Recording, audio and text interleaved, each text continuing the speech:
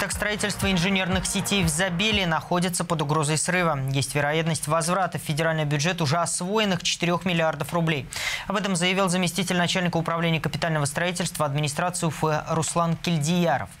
На первом этапе возведения объектов были заключены муниципальные контракты на сумму 8 миллиардов рублей. Из-за удорожания стройматериалов в феврале из резервного фонда страны на них дополнительно выделили 1 миллиард. Проект подорожал до 9 миллиардов.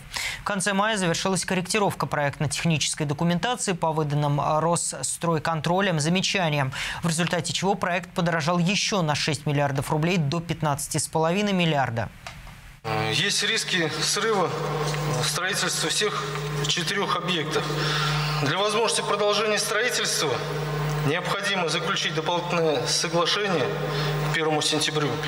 Предложение об изменении в РАИП э, от администрации города в Министерство строительства и архитектуры направлено.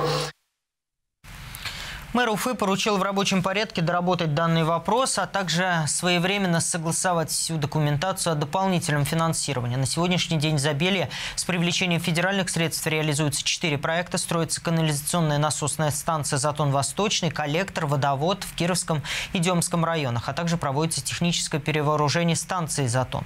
Строительство объектов инженерной инфраструктуры позволит возвести на территории 10 миллионов квадратных метров жилья.